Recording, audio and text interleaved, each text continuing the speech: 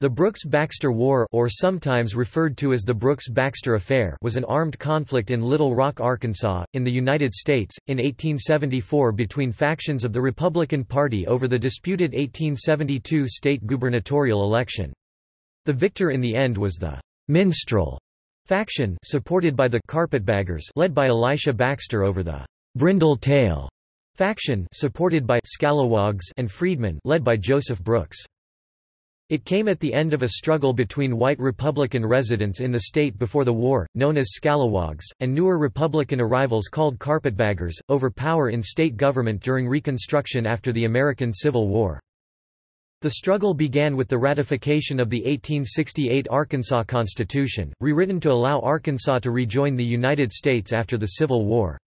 Congress's 1867 Reconstruction Acts required rebel states to accept the Fourteenth Amendment, establishing civil rights for blacks, and enact new constitutions providing suffrage to freedmen ex-slaves while temporarily disenfranchising former Confederate Army officers.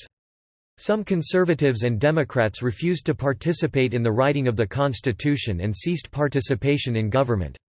Republicans and Unionists wanting Arkansas to rejoin the United States formed a coalition to write and pass the new constitution, and formed a new state government. In the wake of a wave of reactionary violence by the Ku Klux Klan and a poor economy, the coalition soon fractured into two factions, the «minstrels», who were mostly carpetbaggers, and the «brindle tails», who were mostly scalawags. This led to a failed impeachment trial of the carpetbagger Republican governor, Powell Clayton. He was then elected a U.S. Senator by the General Assembly. The 1872 gubernatorial election resulted in a narrow victory for minstrel Elisha Baxter over brindle tail Joseph Brooks in an election marked by fraud and intimidation. Brooks challenged the result through legal means, initially without success, but Baxter alienated much of his base by reenfranchising former Confederates and in 1874, Brooks was declared governor by a county judge who declared the results of the election to have been fraudulent. Brooks took control of the government by force, but Baxter refused to resign. Each side was supported by its own militia of several hundred black men. Several bloody battles ensued between the two factions. Finally, President Ulysses S. Grant reluctantly intervened and supported Governor Baxter, bringing the affair to an end. The incident, followed by the new Arkansas Constitution of 1874, marked the end to Reconstruction in Arkansas. The conflict significantly weakened the Republican Party in the state as the Democrats took power and controlled the governorship for 90 years.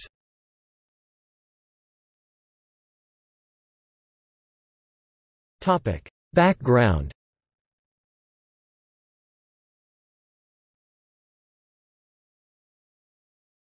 1868 Constitution After the Civil War rebel states, including Arkansas, were in disarray. Slavery, key to their economies and social structure, was gone. Northerners, whom Southerners called carpetbaggers, came to the defeated Southern states to work in the rebuilding process. In 1866, Congress grew increasingly disturbed by post-war developments in the rebel states. Pre-Civil War elites, including plantation owners and Confederate Army officers, were re-elected to government positions, and Southern legislatures enacted black codes, limiting the rights of former slaves, and violence against blacks was common. To redress the matter, Congress passed the Reconstruction Acts of 1867, dissolving rebel state governments and dividing the South into military districts. Rebel states could only be readmitted to the Union if they wrote and ratified new constitutions providing civil rights for freedmen, and accepting the Fourteenth Amendment. In the fall of 1867, Arkansans voted to convene a new constitutional convention and selected delegates, who convened in Little Rock in January 1868. A coalition of native white Unionists, freedmen, and carpetbagger Republicans prevailed on most critical proposals. Prominent leaders included James Hines, Joseph Brooks, John McClure, and Powell Clayton. The new constitution required suffrage the right to vote for emancipated adult male slaves, now called freedmen. It reapportioned the legislative districts to reflect the new status of freedmen as citizens, counting them as full members of the population. It conferred broad powers upon the state government, establishing universal public education for blacks and whites for the first time, as well as welfare institutions, absent under the previous government, which were needed in the aftermath of the war. The governor was given wide-ranging powers of appointment without legislative approval, including the power to appoint such top state officials as Supreme Court judges. The governor was also the president of virtually all state organizations, including the Board of Trustees of the state's newly created Technical University, the Board for Public Printing, and even the Railroad Commission. It also temporarily disenfranchised former Confederate Army officers and persons who refused to pledge allegiance to the civil and political equality of all men. The Democratic Party was also in disarray in Arkansas in 1867–68. One unifying principle of the Democrats, however, was white supremacy and resistance to black suffrage. At the January 27, 1868, Democratic State Convention in Little Rock, Democrats announced the avowed purpose of uniting the opponents of Negro suffrage and domination. Some party leaders opposed Reconstruction in favor of continued military rule, which was far from what they wanted, but seemed like a better option than allowing freedmen all the civil rights of white citizens, including the right to vote. The more conservative wings of the party simply showed no interest in the new constitution and remained loyal to the ideas embodied in the Confederacy.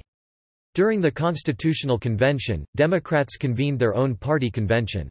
Many chose to boycott elections on the grounds that the new constitution was illegal, because it disenfranchised them while giving suffrage to the freedmen, whom they insisted were an inferior race. They also alienated the freedmen who were now the largest bloc of voters in the state, by adopting resolutions against them. Their first resolution of the convention was resolved, that we are in favor of a white man's government in a white man's country.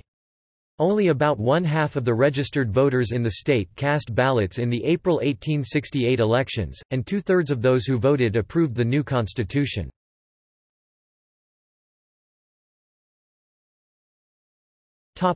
Clayton administration Powell Clayton, a 35-year-old former brigadier general in the Union Army who remained in Arkansas after marrying an Arkansas woman, was elected governor as a Republican in April, 1868. The election was scarred with irregularities.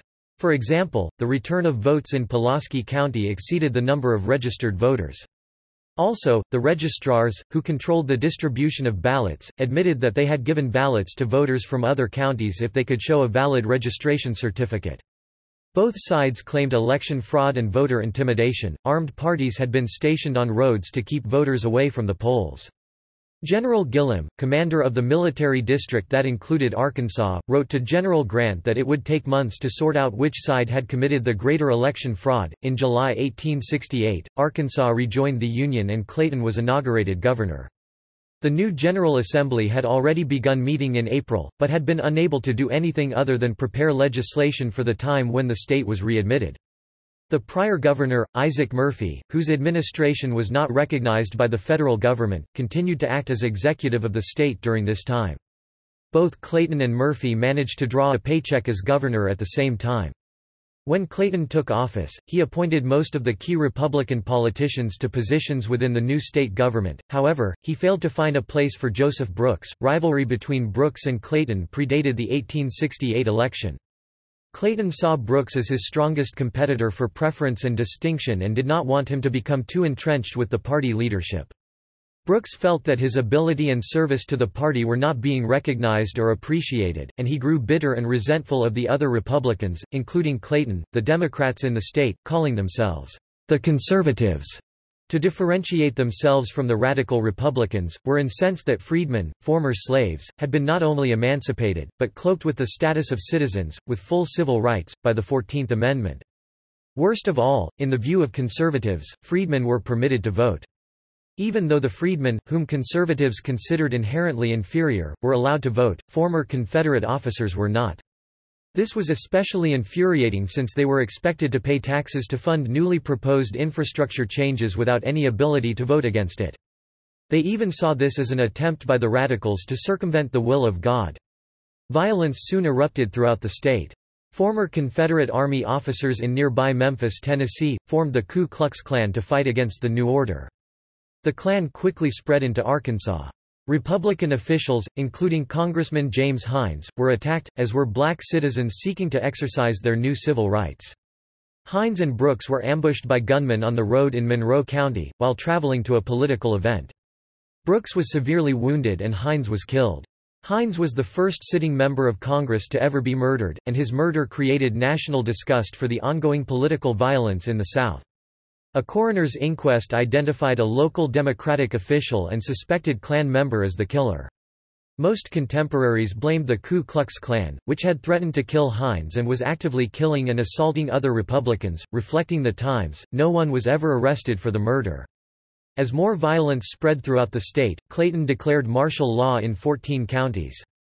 Many Democratic newspapers denied the existence of the secretive Ku Klux Klan while still reporting on the violence. 20th-century research shows the Klan was responsible for most of the violence in the state at this time.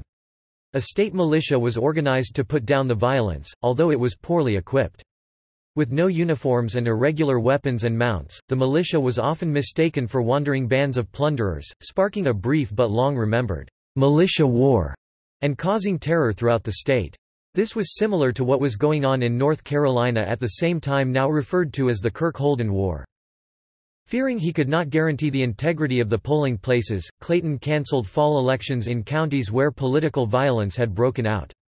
In doing so, however, he further reduced the Democratic vote, and the state ended up supporting the election of President Grant, the Republican candidate, despite the population being mostly Democratic.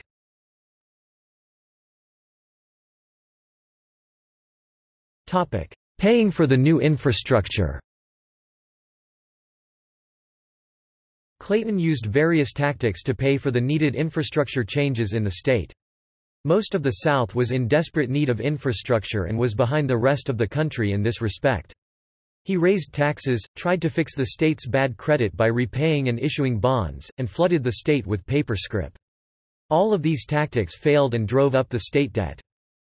Introducing more taxes proved to be hugely unpopular among both Democrats and Republicans, and the people of the state simply did not have that much money to give. Bond issues generated controversy and were the source of scandals in the administration. All of the old railroad and infrastructure bonds, including the controversial Holford bonds which had already been declared illegal by the Arkansas Supreme Court, were gathered into a funding act and passed by the legislature. Many bonds were issued for roads and railroads that were never built, or were constructed and then torn up and rebuilt in another direction. Some projects even received the same amount of funding from different bonds, such as embankments built for railroads where roads were funded to be built by a different bond. One of the most controversial bonds involved the purchase of slate for a state penitentiary roof, which was diverted for the construction of a mansion of a Republican official J.L. Hodges, who eventually served jail time for the incident. Promissory notes, or scrip, were issued to raise money. The money was used for construction projects, and invested in public infrastructure. Article 6, Sec. 10 of the new Constitution stated that the credit of the state could not be loaned without the consent of the voters, making these promissory notes illegal. Their introduction also caused actual currency to go out of circulation. The radical Republicans did create some improvement within the state. Levees were constructed and railroads were built.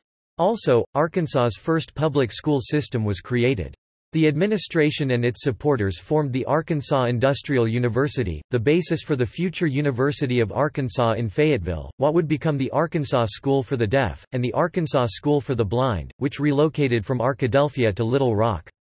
However, state debt increased dramatically. The state had a budget surplus when Clayton came to office, but by the end of his term, the state debt had increased to $5 million.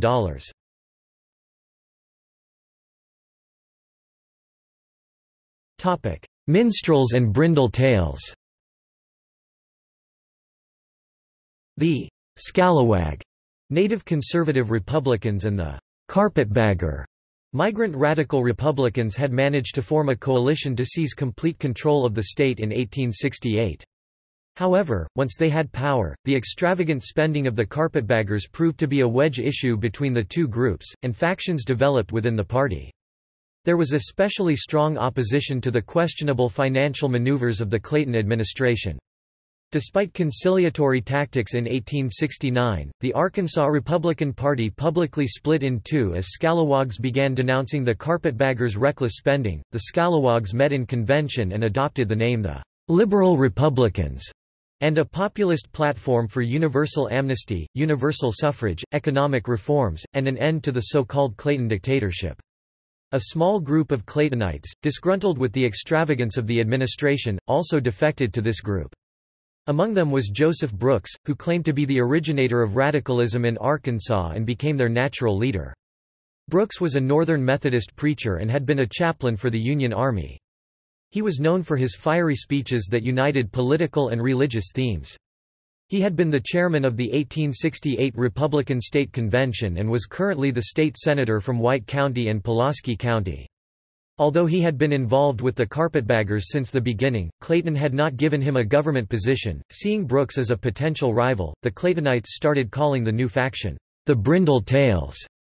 This name can be traced back to Clayton supporter Jack Agery, who was a freedman, contractor, and orator in the state. In a speech he gave in Eagle Township in Pulaski County, he said that Brooks reminded him of a brindle-tailed bull he had known as a child that scared all the other cattle. The Claytonist then began mockingly referring to Joseph Brooks and his supporters as brindle tails, and this is how they were referred to from then on. The Brindle Tails platform included a proposal for a new constitution that would re-enfranchise ex-Confederates, which appealed to Democrats and pre-war Whigs. They began gaining support among the disenfranchised and the liberal Republicans. For their part, the Brindletails mockingly referred to the Carpetbaggers and Claytonist Republicans as the Minstrels, and that name stuck as well. This moniker can probably be traced to John G. Price, the editor of the Little Rock Republican and a staunch Clayton supporter. Price was known to be a good musician and comedian and had even once filled in for a sick performer in a minstrel show, complete with blackface. The Brindle Tails desperately wanted Clayton out of the governor's office. Conveniently, Lieutenant Governor James M. Johnson was a brindle tail, so the natural course of action was to try to get rid of Clayton and let Johnson succeed him. Clayton was well aware of their plans, and when he left the state briefly for New York on business concerning the Holford bonds, he informed no one. When Johnson, who was at home some distance from the capital, found out he tried to head to the capital to take control and have Clayton arrested and impeached. He arrived too late. Subsequently, after Johnson made a speech demanding changes in the administration, the minstrels started to target Johnson. On January 30, 1871, they introduced articles of impeachment in the General Assembly against him. The chief charge was that Johnson, acting as the President of the Senate, had administered the oath of office to Joseph Brooks, who had recently been elected as state senator, and then recognized him on the floor. Although this was legitimately within his powers as the lieutenant governor to do, he escaped impeachment by only two votes. The scrutiny of the proceedings seriously damaged his reputation, even though he had done nothing wrong, and his political career never recovered. In 1871, Clayton was accused of deliberately tampering with the results of the U.S. House election between Thomas Boles and John Edwards in the 3rd Congressional District. According to Arkansas law, the results were to be certified and given to the Secretary of State, then Robert J.T. White. After that, the Governor and Secretary of State would take up and arrange the results and the governor would issue a proclamation declaring the winner and deliver the seal of the state to him. Clayton was accused of adding around a hundred votes to the final count for Edwards, and declaring him the winner. Boles successfully contested the election and Clayton was indicted by the Federal Circuit Court. Although the court found that Clayton did in fact falsify his proclamation and delivered the seal to Edwards knowing full well that he had not won, this was not illegal. His actions were in no way binding to the Congress and under federal law of the time, state governors were not considered election officials. Boles became a congressman. To sequester Clayton from the affairs in the state, the Brindles and the Democrats decided the only thing they could do was elect him to the U.S. Senate. However, even though he won unanimously, he refused to take his seat, which would mean letting Johnson become governor. In 1871, the State House of Representatives drafted articles of impeachment against Clayton, charging him with a wide variety of impeachable actions, including depriving Johnson and several other state officials of offices to which they had been fairly elected, removing state officials and judges from offices to which they had been fairly elected, aiding in fraudulent elections, taking bribes for state railroad bonds, and various other high crimes and misdemeanors. The members of the House then tried to suspend Clayton from his duties as governor by force. They even apparently tried locking him in his office and nailing the door shut. However, Clayton responded that they had no right by the state constitution to deprive him of his office. At the same time, the House also brought impeachment charges against Chief Justice John McClure for his part in trying to deny Johnson the privileges of his office of lieutenant governor. Two successive inquiries failed to find evidence against Clayton. The legislature refused to continue, all charges were dropped, and Clayton was exonerated. In fact, he was never found guilty of any wrongdoing while governor. Finally a deal was reached. Johnson, now politically badly damaged by his impeachment ordeal and willing to take any position he could get, resigned as lieutenant governor, was appointed Secretary of State, and was given a compensation of several thousand dollars for his loss of power and prestige, since he would not become governor. A staunch Clayton supporter, O.A. Hadley, was then appointed lieutenant governor. Three days later, Clayton left the state for Washington, D.C., to join the U.S. Senate, and Hadley succeeded him as governor. The Democrats' paper, the Arkansas Daily Gazette crowed, It will be a source of infinite joy and satisfaction, to the oppressed and long-suffering people of Arkansas, to learn that, on yesterday, the tyrant, despot and usurper, late of Kansas, but more recently, governor of Arkansas, took his departure from the city and his hateful presence out of our state, it is to be hoped, forever and ever. Although no longer a state official, Clayton remained the leader of the state Republicans and was controlling now not only appointments within the state, but also the flow of federal money and positions. He began purging Brindles from federal office, including Joseph Brooks, who was at this point an Internal Revenue assessor.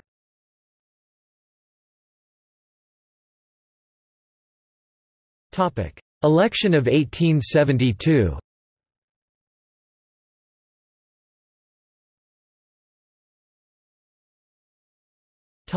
Brooks and Baxter In the gubernatorial election of 1872, the Minstrels faction nominated Elisha Baxter as their candidate. Baxter was a lawyer, politician, and merchant from North Carolina who had settled in Batesville, and a lifelong Whig. He was elected mayor of Batesville in 1853 and elected to the state legislature in 1858. At the outbreak of the Civil War, he had been conflicted about which side he supported. When General Samuel Curtis and the 2nd Iowa Infantry occupied Batesville in the spring of 1862, the general recognized Baxter as a loyal Unionist, and tried to bestow upon him the title of REGT, of Loyal Arkansans, which he refused. When Curtis left Batesville, Baxter was forced to flee to Missouri. He was captured, brought back to Little Rock, and charged with treason, only to escape later before his trial could take place. He describes this episode in his life in his autobiography, through a fortunate combination of circumstances I escaped from prison before my trial came on and lived for 18 days in the forest sick and fields near Little Rock without a morsel sick of food except such raw corn and berries as I could gather in my lone wanderings.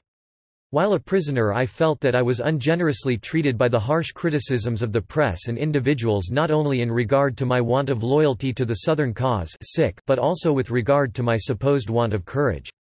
I therefore resolved if God would grant me deliverance I would at once enter the Federal Army. When Baxter returned to Batesville, he organized the 4th Arkansas Mounted Infantry for the Union and commanded it until he was named a state Supreme Court judge by Governor Murphy in the spring 1864. Shortly after being named a judge, he was elected to the U.S. Senate by the legislature along with Rev. Andrew Hunter, but they were not seated in the Senate as the Senate did not recognize the Murphy administration. In 1867, he was appointed by Governor Clayton judge of the Third Judicial Circuit. In 1868 he was appointed the 1st Congressional District of Arkansas. He held these two positions until he was nominated for governor in 1872. Baxter was virtually unknown and privately clean of scandals, unlike most of the minstrels. They believed he could attract votes from Unionists and Northerners, their core base, as well as natives of the state. Joseph Brooks ran for governor representing the Brindle Tails. Brooks was a very vocal supporter of civil rights for former slaves, but also a supporter of re-enfranchisement for ex-Confederates, which was the sentiment nationally of liberal Republicans. When the Democrats met, they agreed not only to not run a candidate, but even to support Joseph Brooks, as long as the election was fair and legal, since elections in the state had been wrought with fraud for five years. The issue of re-enfranchisement of Confederates was central to the election.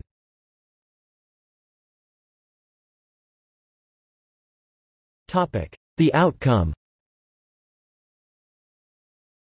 The election of 1872 has been described as a masterpiece of confusion. By Arkansas historian Michael B. Dougan. That carpetbagger Brooks ran with Democratic support against a scalawag nominated by a party composed almost exclusively of carpetbaggers was enough to bewilder most voters as well as the modern student. In the days before the election and the days afterward, predictions and reports of fraud were printed daily in the Gazette. Because of the relatively slow communications, messages from other counties were often delayed up to a week. There were numerous reports of anomalies in state polling centers, including names being inexplicably stricken from the voter registration lists and persons voting without proof of registration. The Gazette wrote, It would be as great a farce of yesterday's election to designate it otherwise than a fraud. It was one of the worst ever yet perpetrated in the state.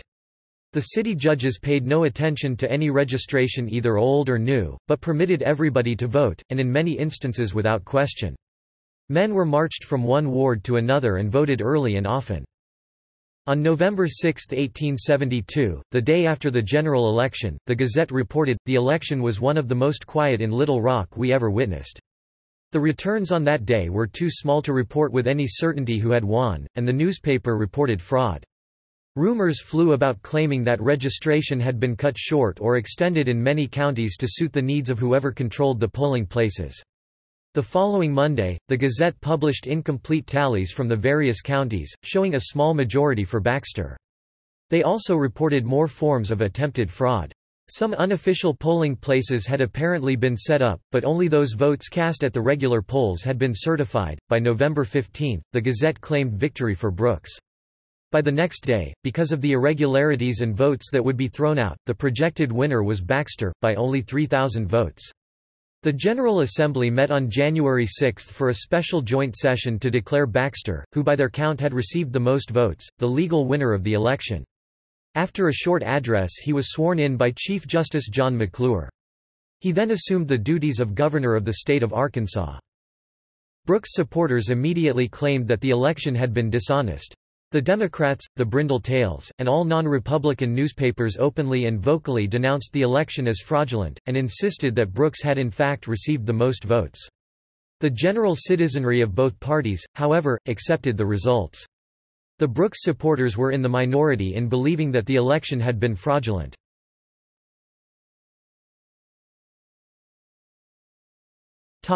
Brooks's legal battle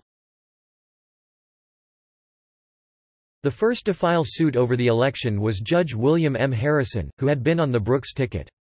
He filed a bill of equity with the U.S. Circuit Court in Little Rock, claiming he had a right to a seat on the Supreme Court due to the fraudulent election. The Brooks campaign likewise filed suit in the Circuit Court shortly thereafter on January 7, 1873. Judge H.C. Caldwell heard the Harrison case, and rendered an opinion stating that the federal court had no jurisdiction in the matter, and dismissed the case. The Harrison decision resulted in the dismissal of the Brooks case as well. Brooks then took a petition to the General Assembly, asking for a recount. The Assembly took up the matter on April 20, 1873 and voted 63 to 9 not to allow Brooks to contest the election. This did not deter Brooks, and he applied to the Arkansas Supreme Court for a writ of quo warranto, and was again denied. They also ruled that state courts had no jurisdiction in the matter, and dismissed the case. They gave a lengthy explanation as to why the General Assembly should decide contested gubernatorial elections in joint session, since they are the directly elected representatives of the people. It appeared that Brooks had exhausted all legal avenues at this point, but on June 16, 1873, he filed another lawsuit against Baxter, this time with the Pulaski County District Court. Under Arkansas Civil Code Sec. 525, if a person usurps an office or franchise to which he is not entitled, an action at law may be instituted against him either by the state or by the party rightly entitled to the office. On October 8, 1873, Baxter filed a plea of non-jurisdiction, but he believed that the court might decide against him. He issued a telegram to President Grant informing him of the basic situation in Arkansas and asked for federal troops to help him maintain the peace. Grant denied his request.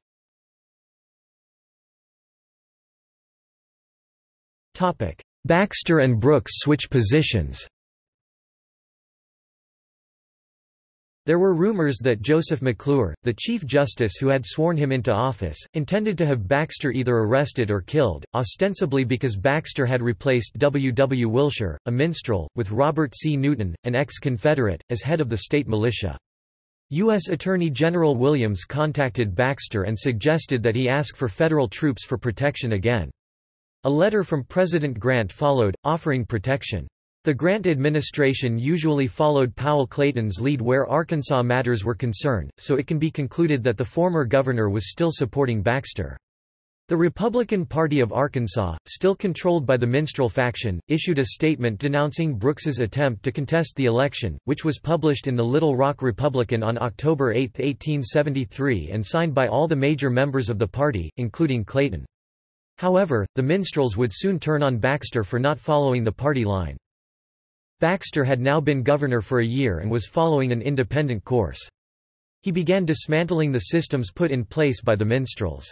He appointed honest Democrats and Republicans to the Election Commission, reorganized the militia by placing it under the control of the state, rather than the governor, and pushed for an amendment to the state constitution to re-enfranchise ex-Confederates. On March 3, 1873, the state legislature passed a bill re-enfranchising ex-Confederates, to the delight of much of the state population and the concern of the minstrels. The legislature called a special election in November to replace 33 members, mostly minstrels, who had left for patronage jobs in the Baxter government. Baxter refused to let the minstrels manipulate the election, declaring that free, honest elections would be held during his term. With the help of the newly re-enfranchised voters, conservative Democrats swept the election and gained a small majority in the legislature. Baxter was about to erode his Republican base out from under him. In March 1874, Baxter vetoed the Railroad Steal Bill, the centerpiece of the radical Republican Reconstruction Plan. The bill would have released the railroad companies from their debts to the state and created a tax to pay the interest on the bonds. This was clearly not legal and the veto called into question the legality of the 1868 railroad bonds, which created a public bonded debt. It is likely the minstrels struck a deal with Brooks to support the railroad bonds, and within a month the political backers of Brooks and Baxter began to switch. Senator Clayton issued a statement saying that, "...Brooks was fairly elected in 1872, and kept out of office by fraud." Governor Baxter was now being supported by the Brindle Tails, re-enfranchisers, and the Democrats, whereas Brooks was finding support among the Claytonists, Northerners, Unionists, the Minstrel Republicans. Brooks was assigned three prominent minstrel attorneys, and after a year of sitting on the docket, at about 11 a.m. on April 15, 1874, Baxter's demurrer to Brooks' complaint was suddenly called up. Neither of Baxter's lawyers were present in the courtroom, and the demurrer had been submitted without their knowledge. Without giving Baxter any time to testify, Judge Whytock overruled the demurrer and awarded Brooks $2,000 in damages and the office of Governor of Arkansas. Neither Brooks nor the court notified the legislature or Governor Baxter. Judge Whytock then swore in Joseph Brooks as the new governor of Arkansas, despite having no authority to do so.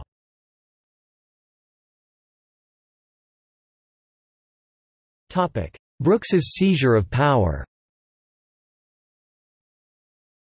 With the aid of General Robert F. Catterson and state militia, Brooks, accompanied by about 20 armed men, marched to the Arkansas Capitol building now known as the Old State House, located at Markham and Center Streets in downtown Little Rock.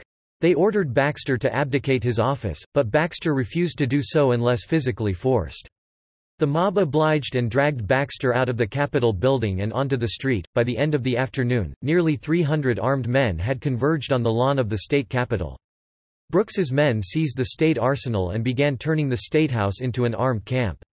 Telegrams covered in signatures were sent to President Ulysses S. Grant supporting Brooks as the legal governor. Three out of the five Supreme Court justices also telegraphed the president in support of Brooks.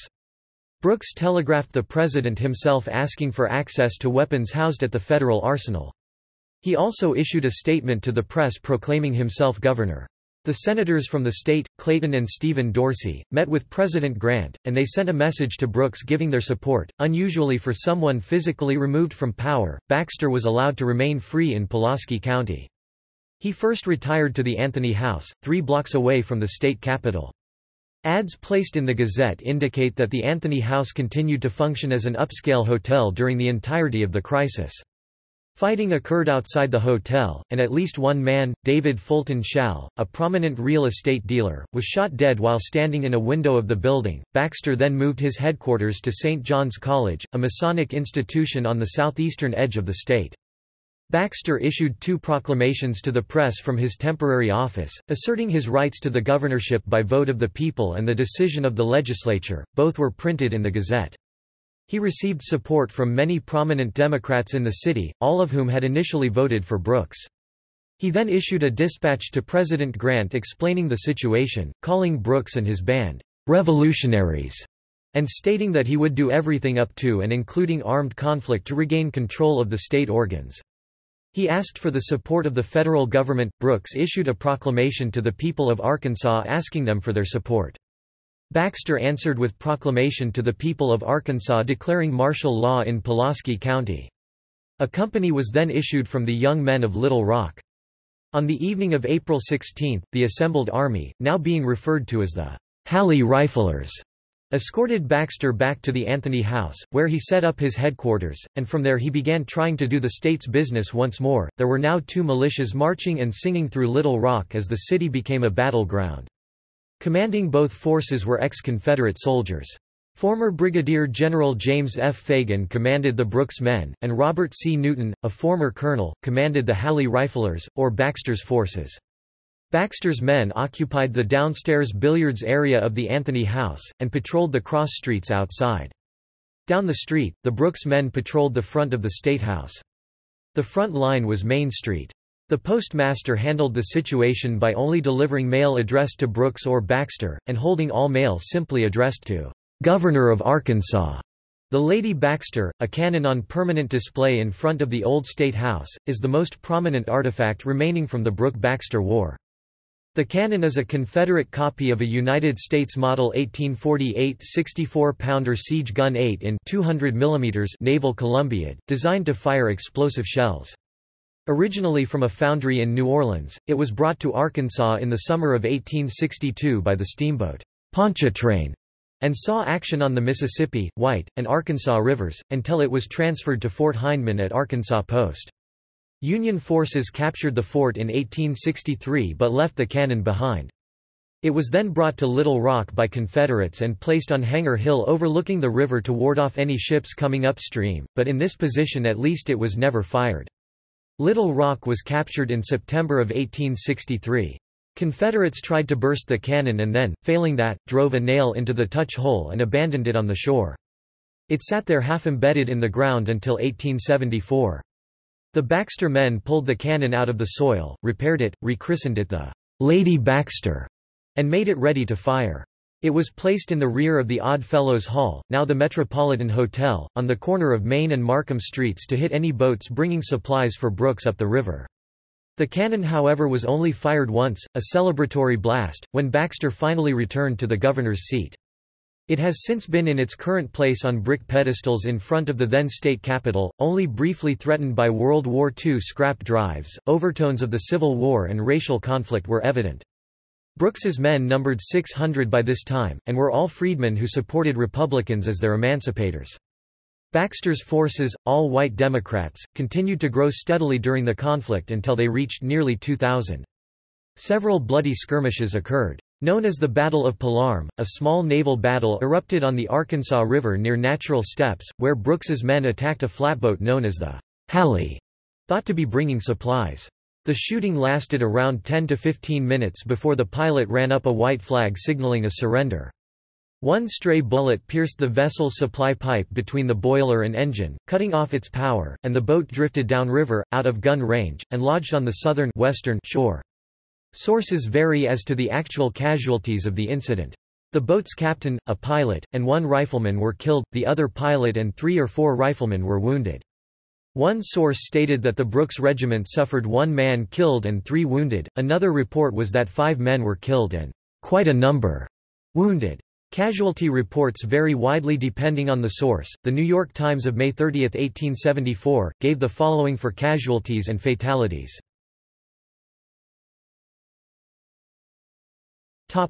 Brooks loses favor. On May 3, men claiming to be acting on behalf of Baxter supporters hijacked a train from Memphis, Tennessee, and arrested federal court justices John E. Bennett and E. J. Earl, thinking that the court would be unable to rule without a quorum of judges. Baxter denied that they were acting under his direction. The judges were taken to Benton, Arkansas. For several days, their whereabouts were unknown to the public and federal officials began a search for the justices. Justice Bennett was able to send a letter to Captain Rose demanding to know why they were being held by the governor of Arkansas. Upon receipt of the letter, troops were sent to Benton to retrieve the two justices, but they had escaped by May 6 and made their way to Little Rock. In Washington, Brooks was supported politically, but Baxter also had support because of the undemocratic way he had been removed from office. President Grant had already dealt with the outcome of the contested election for governor of Louisiana, the Colfax Massacre, where federal troops had to be sent to restore order. As Brooks and Baxter scrambled for support in Washington, D.C., Grant pushed for the dispute to be settled in Arkansas. Baxter demanded the General Assembly be called into session. He knew he had their support, but so did Brooks, so he and his men would not allow anyone to enter the Capitol building. Brooks, on the other hand, had the support of the district court. He enlisted Little Rock's premier lawyer, Uriah M. Rose, head of the still prominent Rose law firm. However, Grant's decision would soon set in motion the demise of Brooks's governorship. It was becoming clear that federal intervention was required to settle the dispute, despite the general policy of the Grant administration to stay out of the affairs of southern states. The president often expressed annoyance with Southern governors who requested help from federal troops to combat regular waves of election year violence, with little compassion for the issues they faced. Grant and the United States Attorney General, George Henry Williams, issued a joint communique supporting Baxter and ordering Brooks to vacate the Capitol. They also referred the dispute back to the state legislature. Historian Allan Nevins believes Grant had been hoodwinked. When Baxter refused to sign $2 million worth of fraudulent railroad bonds, Boss Shepherd and Senator Dorsey turned against him and convinced Grant to do the same.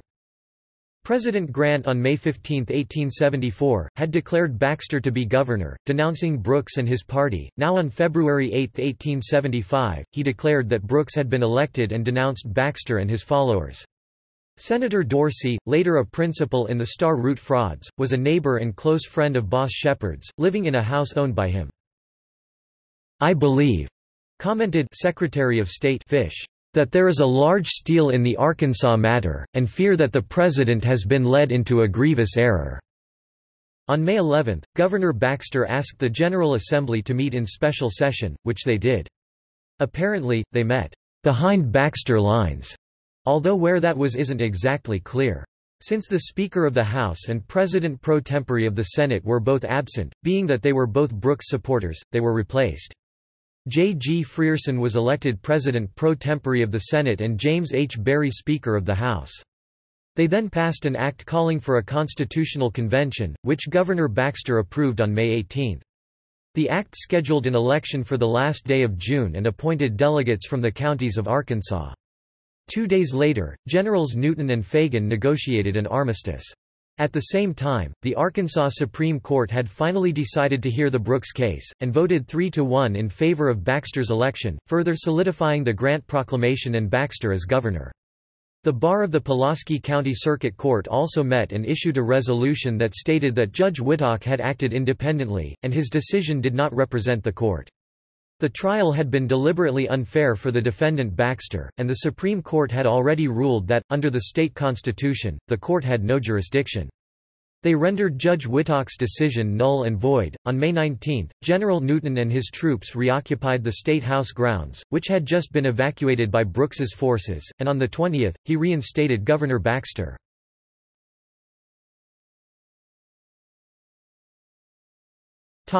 Aftermath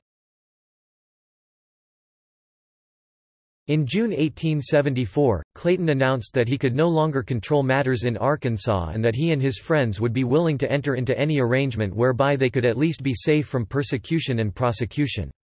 However, the Democrats retaliated by impeaching many minstrels, including Supreme Court Justice John McClure. Clayton finished his Senate term but was not re-elected. On September 7, 1874, the new Constitution was completed and signed by a majority of delegates. The entire electorate, including the disenfranchised Confederates and the freedmen, voted. The election not only was for ratification of the new constitution but also for state officials that would be elected if the constitution was indeed ratified. The Republicans actually took the same position that the Democrats had taken earlier, believing that the election was illegal they nominated no candidates. Conservative Democrats and allied paramilitary groups suppressed black voting, using a combination of intimidation, blocking blacks from the polls, and outright assassinations. The new constitution was ratified on October 13, 1874 and Democratic officials elected almost unanimously, including new Democratic Governor Augustus H. Garland who was inaugurated November 12, 1874, and Baxter left office after only serving two years of a four-year term. It was a long time after the Brooks-Baxter War that people of Arkansas allowed another Republican to become governor. The following 35 governors of Arkansas, ruling for a total of 90 years, were all Democrats, until Republican Winthrop Rockefeller became governor in 1966 defeating James D. Johnson. Winthrop became governor while his brother Nelson was governor of New York, while the defeat of Johnson in Arkansas and William M. Raynoch in Louisiana ended the once mighty hold of segregation over politics.